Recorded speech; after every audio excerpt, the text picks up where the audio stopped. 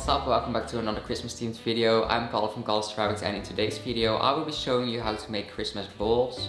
I will be showing you the full process from throwing them to how to fire them, so just keep on watching and I'll explain everything. I will be throwing the balls from the hump. This means that you put a big piece of clay on the wheel and only center the top part. Because you have so much clay on the wheel you can throw multiple pieces at once. And just take off the different pieces. Throwing from the hump makes centering smaller pieces of clay easier as well. I'll now explain how I throw a Christmas ball. I start off by centering some of the clay at the top, by pushing it towards the middle. And I make the centered piece thinner at the bottom by pushing my hands inwards. This makes it easier to see the difference between the hump and the clay you are working with. Then I start opening up the clay by pushing my middle finger into the middle. You have to be careful not to go too deep. Since you are not throwing on the bat you can push down as far as you want, but try not to make it deeper than the centered part on top, otherwise you will get a hole in the bottom when cutting off the shape. Then I start putting up the walls. I hold my left hand in the inside and my right hand on the outside. I push while making an upwards movement. I will be closing the shape at the top, so I try to make the shape a bit round while pulling up the walls. As you can see the piece started to wobble a bit. To get it centered again I put both of my hands around it and hold still. Then I round the shape by pushing from the inside outwards.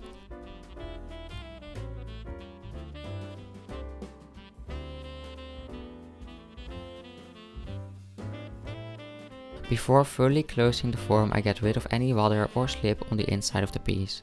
I do this by going over it with a sponge.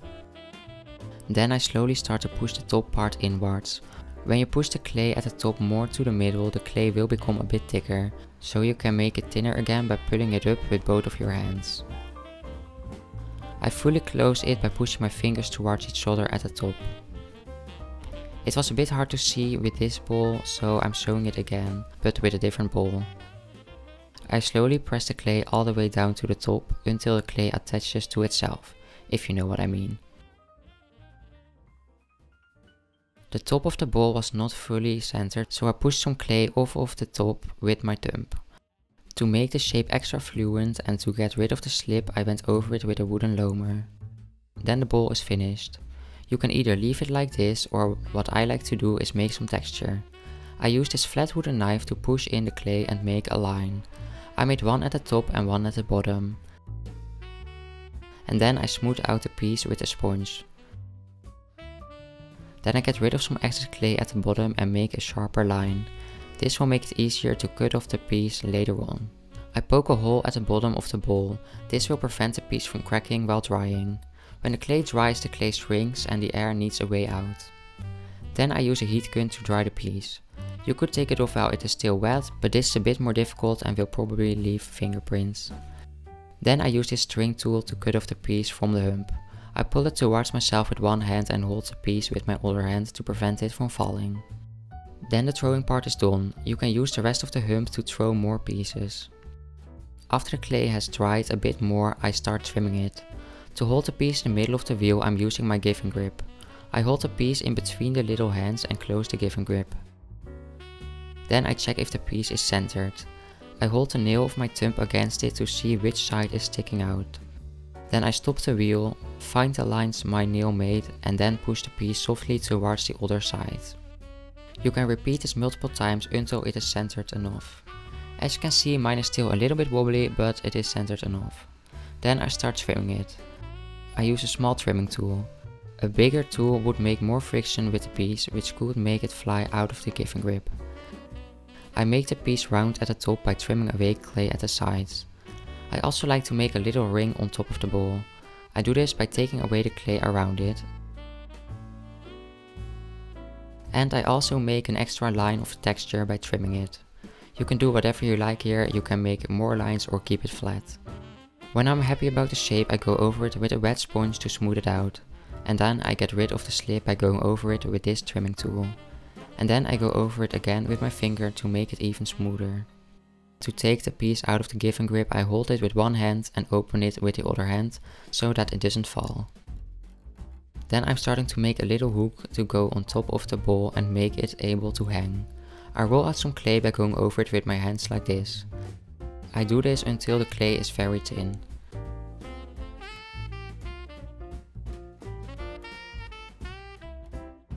Then I cut off a little piece that I'm going to use for the hook. I bend it so that the ends touch.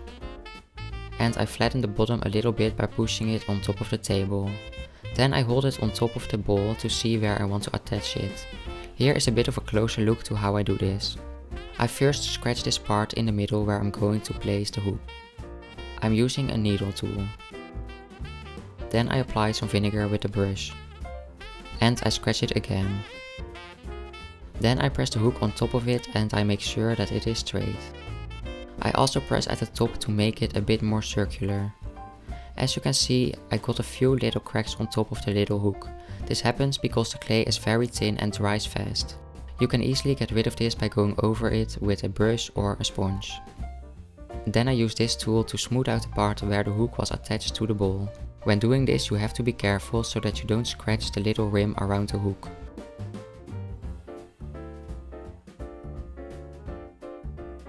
And then, just like I did earlier, I make a hole on the ball by pushing my needle tool into it. I prefer to make the hole at the top so that the glaze can't run into the hole during the glaze fire. To prevent the hook from drying too fast and breaking off, I roll the piece in some plastic. This will make it dry very slowly and will prevent the hook from drying faster than the piece. I will leave it in here for 3 days. And then it is ready to dry before biscuit fire. To fire them for the first time I put them on their side in the kiln like this. I will now show you two different glaze combinations you could use for Christmas. For the first one I'm using glazes from Botz. I start off with applying two coats of the color Ruby Red. Ruby Red? Ruby? I don't know. I first hold the piece at the bottom and glaze the top part and then, when the top part has dried, I hold it at the top and glaze the bottom part.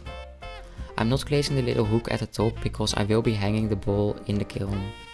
Then I apply a second layer of the same glaze. If you'd like you can use a heat gun to let the glaze dry faster, but you could also just wait. Please be careful with your fingers while using a heat gun. After applying two coats of red I apply this green glaze, Celadon Green, also from Botz Glazes. I'm only brushing this onto the top part of the piece and I make a bit of a wavy line at the bottom. After this coat has dried I apply a second one. After this I apply a third and last color. I'm using opal white and I'm only applying one layer at the top, on a smaller part than the previous glaze. I'm only applying one layer because it's my idea that the white glaze breaks open so that you can see the green and red glaze underneath it. While glazing, it is possible that the little hole that you made on the top closed.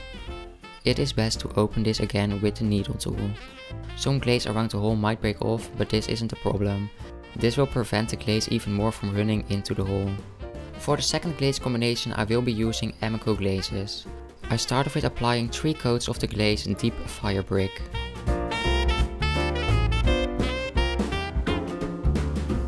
and then I apply 2 coats of seaweed at the top of the piece.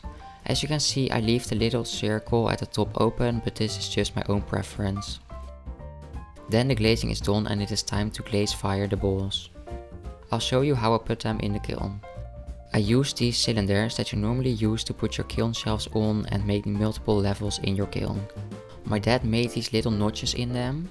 The ones on the side have one notch and the one in the middle has two. Then I'm using this metal stick which is specially made for the kiln and I place it in the notches.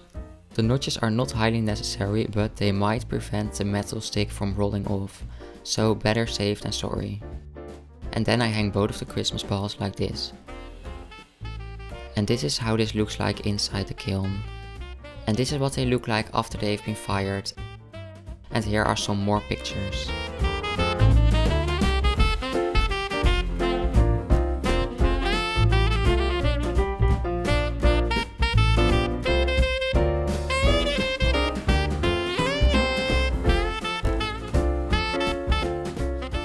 Video. Thank you very much for watching. I hope you liked it and learned something new from it. If so, please give this video a thumbs up and subscribe to my channel if you haven't done so yet. And if you're going to make these Christmas balls yourself and you're going to post them on Instagram, please tag me at Ceramics so I can see your work. And I hope to see you in the next video. Bye!